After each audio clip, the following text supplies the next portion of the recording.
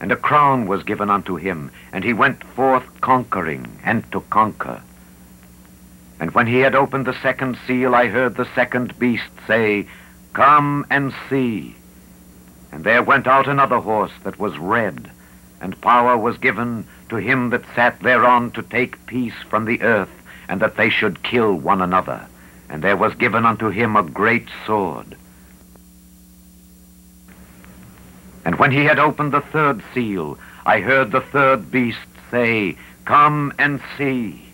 And I beheld, and lo, a black horse, and he that sat on him had a pair of balances in his hand. And I heard a voice in the midst of the four beasts say, A measure of wheat for a penny, and three measures of barley for a penny, and see thou hurt not the oil and the wine. And when he had opened the fourth seal, I heard the voice of the fourth beast say, Come and see. And I looked, and behold a pale horse, and his name that sat on him was Death, and hell followed with him.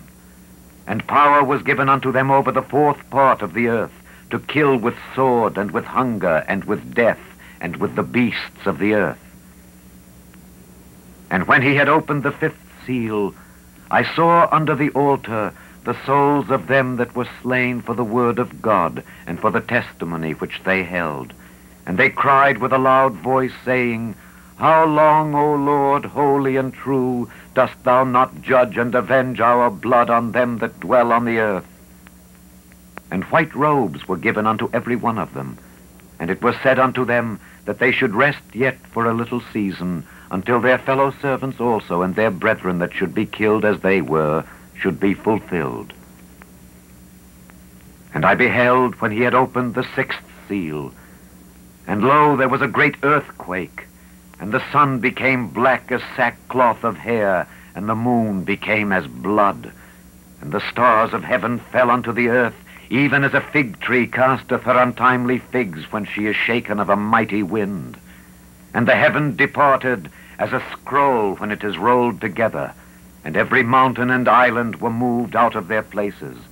And the kings of the earth, and the great men, and the rich men, and the chief captains, and the mighty men, and every bondman, and every free man, hid themselves in the dens and in the rocks of the mountains, and said to the mountains and rocks, Fall on us and hide us from the face of him that sitteth on the throne, and from the wrath of the Lamb. For the great day of his wrath is come, and who shall be able to stand? Chapter 7 And after these things I saw four angels standing on the four corners of the earth, holding the four winds of the earth, that the wind should not blow on the earth, nor on the sea, nor on any tree. And I saw another angel ascending from the east, having the seal of the living God. And he cried with a loud voice to the four angels to whom it was given to hurt the earth and the sea, saying, Hurt not the earth, neither the sea nor the trees, till we have sealed the servants of our God in their foreheads. And I heard the number of them which were sealed, and there were sealed an hundred and forty and four thousand of all the tribes of the children of Israel. Of the tribe of Judah were sealed twelve thousand. Of the tribe of Reuben were sealed twelve thousand. Of the tribe of Gad were sealed twelve thousand. Of the tribe of Aser were sealed twelve thousand. Of the tribe of Nephthalim were sealed twelve thousand. Of the tribe of Manasseh were sealed twelve thousand. Of the tribe of Simeon were sealed twelve thousand. Of the tribe of Levi were sealed twelve thousand. Of the tribe of Issachar were sealed twelve thousand. Of the tribe of Zebulun were sealed twelve thousand. Of the tribe of Joseph were sealed twelve thousand. Of the tribe of Benjamin were sealed twelve thousand. After this I beheld, and lo, a great multitude which no man could number, of all nations and kindreds and people and tongues, stood before the throne and before the Lamb, clothed with white robes and palms in their hands, and cried with a loud voice, saying, Salvation to our God, which sitteth upon the throne, and unto the Lamb. And all the angels stood round about the throne and about the elders and the four beasts, and fell before the throne on their faces, and worshipped God, saying, Amen. Blessing and glory and wisdom and thanksgiving and honor and power and might be unto our God forever and ever. Amen. And one of the elders answered, saying unto me, What are these which are arrayed in white robes, and whence came they? And I said unto him, Sir, thou knowest. And he said to me, These are they which came out of great tribulation, and have washed their robes and made them white in the blood of the Lamb. Therefore are they before the throne of God, and serve him day and night in his temple, and he that sitteth on the throne shall dwell among them. They shall hunger no more, neither thirst any more, neither shall the sun light on them, nor any heat.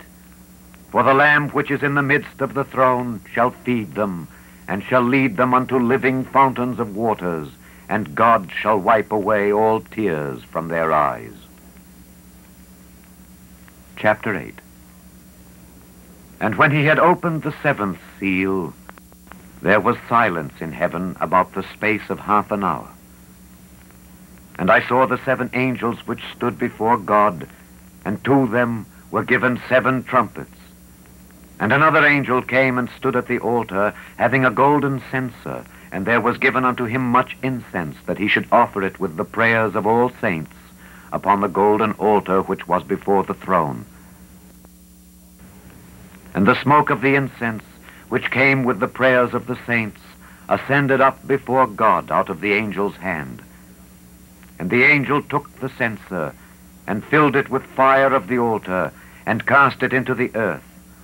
And there were voices, and thunderings, and lightnings, and an earthquake.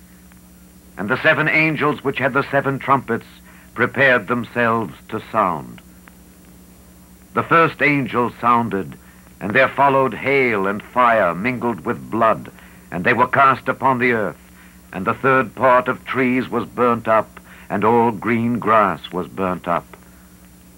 And the second angel sounded, and as it were a great mountain burning with fire was cast into the sea, and the third part of the sea became blood.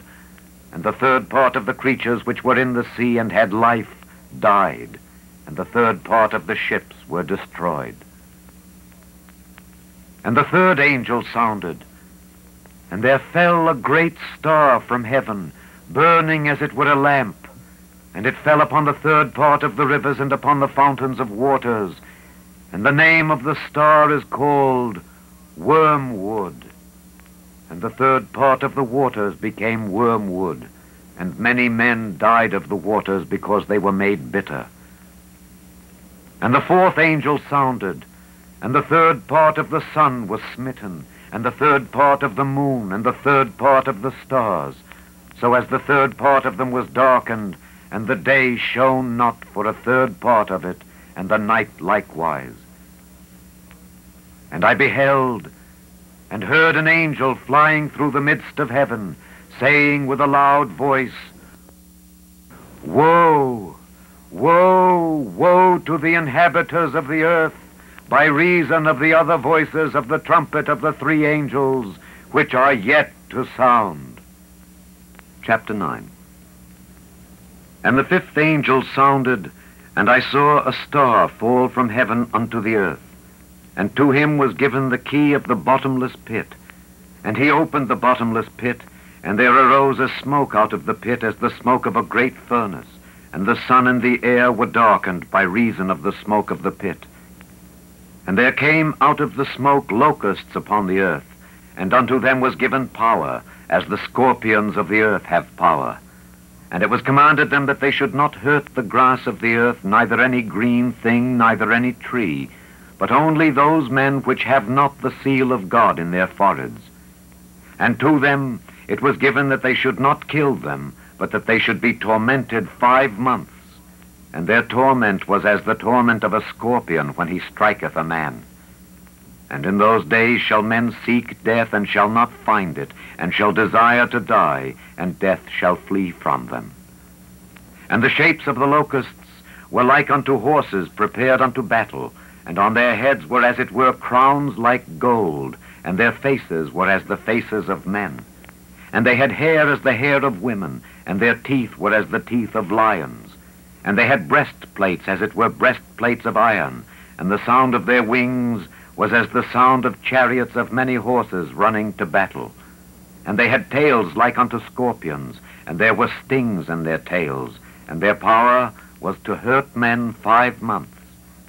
And they had a king over them, which is the angel of the bottomless pit, whose name in the Hebrew tongue is Abaddon, but in the Greek tongue hath his name Apollyon. One woe is past, and behold, there come two woes more hereafter. And the sixth angel sounded, and I heard a voice from the four horns of the golden altar which is before God, saying to the sixth angel which had the trumpet, Loose the four angels which are bound in the great river Euphrates. And the four angels were loosed, which were prepared for an hour and a day and a month and a year, for to slay the third part of men. And the number of the army of the horsemen were two hundred thousand thousand, and I heard the number of them.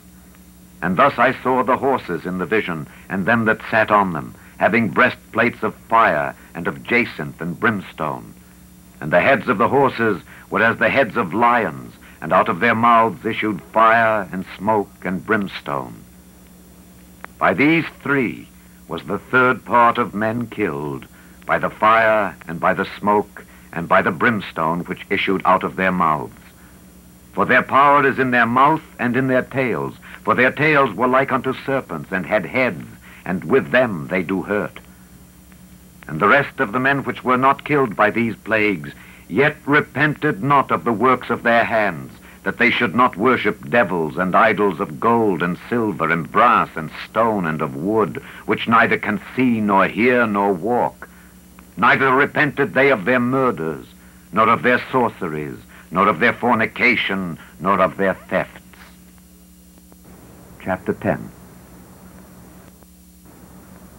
And I saw another mighty angel come down from heaven clothed with a cloud, and a rainbow was upon his head, and his face was as it were the sun, and his feet as pillars of fire. And he had in his hand a little book open, and he set his right foot upon the sea and his left foot on the earth, and cried with a loud voice as when a lion roareth. And when he had cried, seven thunders uttered their voices. And when the seven thunders had uttered their voices, I was about to write, and I heard a voice from heaven saying unto me, Seal up those things which the seven thunders uttered, and write them not. And the angel which I saw stand upon the sea and upon the earth lifted up his hand to heaven, and sware by him that liveth for ever and ever, who created heaven and the things that therein are, and the earth and the things that therein are, and the sea and the things which are therein, that there should be time no longer, but in the days of the voice of the seventh angel, when he shall begin to sound, the mystery of God should be finished, as he hath declared to his servants the prophets. And the voice which I heard from heaven spake unto me again, and said, Go and take the little book which is open in the hand of the angel which standeth upon the sea and upon the earth. And I went unto the angel and said unto him, Give me the little book. And he said unto me, Take it and eat it up, and it shall make thy belly bitter, but it shall be in thy mouth sweet as honey. And I took the little book out of the angel's hand and ate it up, and it was in my mouth sweet as honey, and as soon as I had eaten it, my belly was bitter. And he said unto me, Thou must prophesy again before many peoples and nations and tongues and kings. Chapter 11 And there was given me a reed like unto a rod, and the angel stood, saying, Rise and measure the temple of God and the altar and them that worship therein. But the court which is without the temple leave out and measure it not, for it is given unto the Gentiles. And the holy city shall they tread under foot forty and two months. And I will give power unto my two witnesses, and they shall prophesy a thousand two hundred and threescore days, clothed in sackcloth.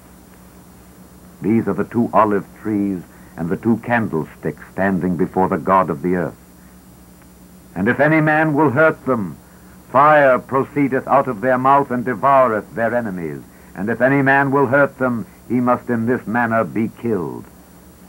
These have power to shut heaven that it rain not in the days of their prophecy, and have power over waters to turn them to blood, and to smite the earth with all plagues as often as they will.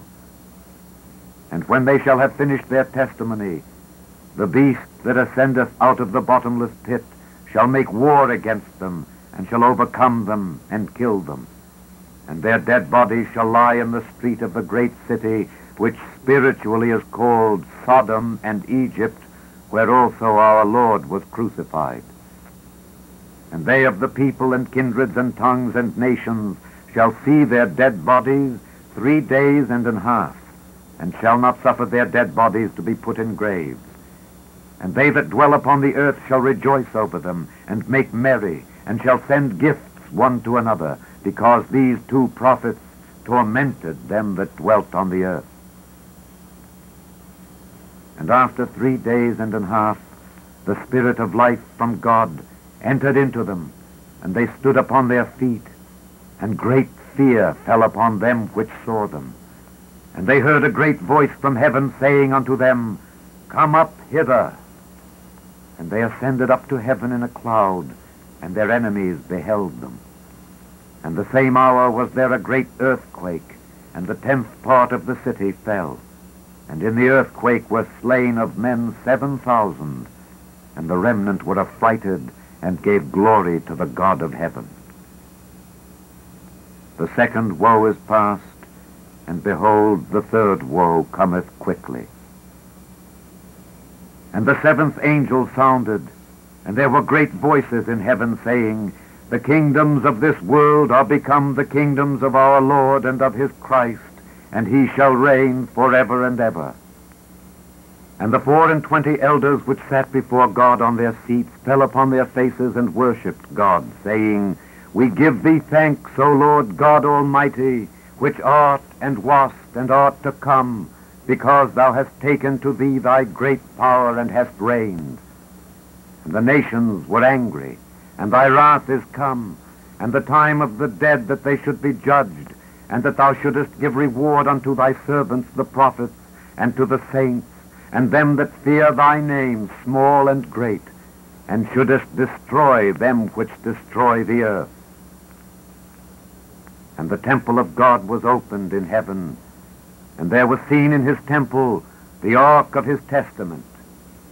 And there were lightnings and voices and thunderings and an earthquake and great hail. Chapter 12 And there appeared a great wonder in heaven, a woman clothed with the sun and the moon under her feet, and upon her head a crown of twelve stars, and she being